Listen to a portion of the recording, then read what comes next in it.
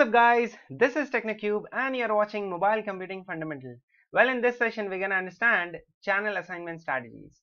You see this concept is basically relevant to or dependent to uh, frequency reuse concept.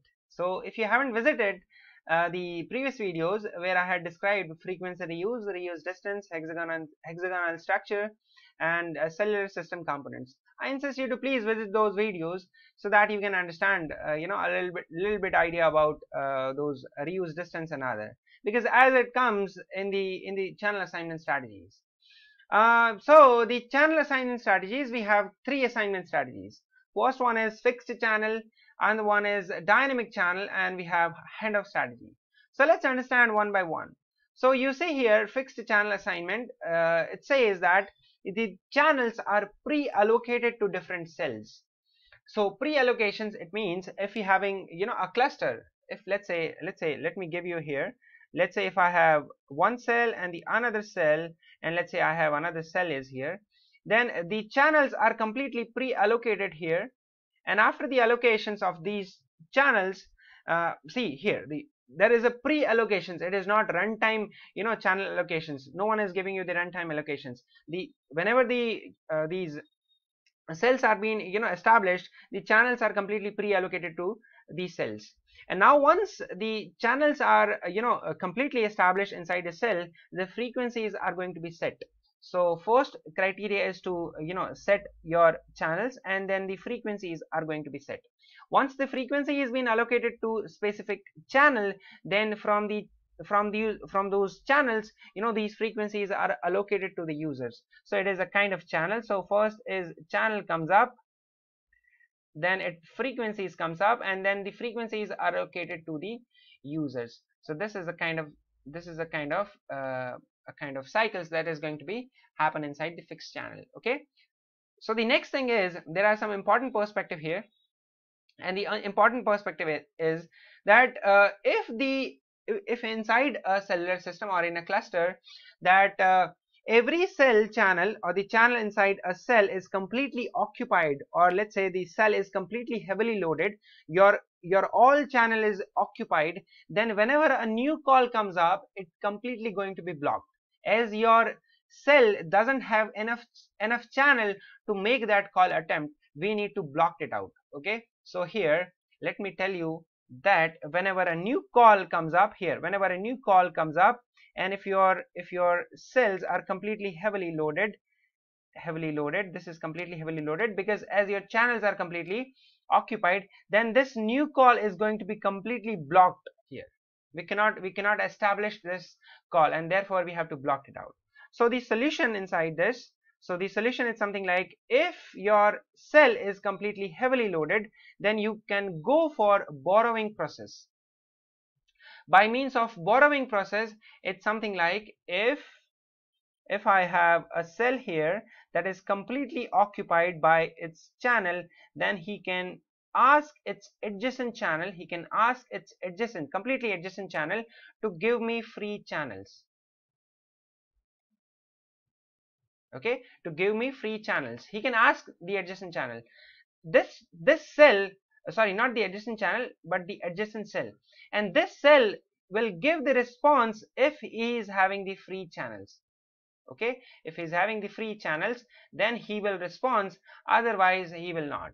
Okay? So these are the two criterias now another thing is this borrowing process can be done with the help of your mobile switching center. So this is the you know this is the uh, this is the what do you call this is an um, a kind of platform which gives you the borrowing process mobile switching center. But it it goes through two following aspects.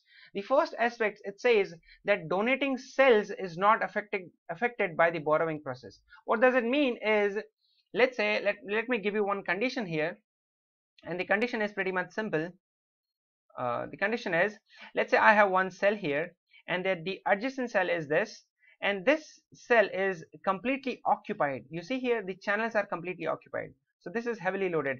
Let's say it is having four channels and it is completely occupied. Okay? Uh, this is not okay. I mean let me just it doesn't have the space here. So it says 14 channel let me give you the condition. 14 channel but completely occupied. Okay? Now he will ask the adjacent cell to give me free channels. Now suppose this cell is having uh, 12 channels and one is free channel. So total is having 13 channel but it is having 12 channel completely occupied 12 channel occupied but one free channel we have. Then he this this cell is going to you know ask this cell to please give me any free channel if, if you have. Then this cell if this cell gives you this particular one free channel then keep that in mind. If if he gives this one free channel then this particular cell is also going to heavily loaded. Earlier we have one cell heavily loaded but now at present by you know moving this particular channel to this cell this cell is also going to be heavily loaded. So previously in the earlier system we have one cell heavily loaded but now because of this borrowing process we have two cells heavily loaded. This should not be happen. So msc keep that in mind that if we are going for a borrowing process then we uh, we do a successful borrowing process or you can say a reliable borrowing process okay so this should not be happen. So instead of instead of you know giving or moving this one free channel if the cell is having large number of free channel then he can move. Otherwise no. Okay so this is the first criteria. And the next criteria is something like no interference. Now how this this two interference going to be happen?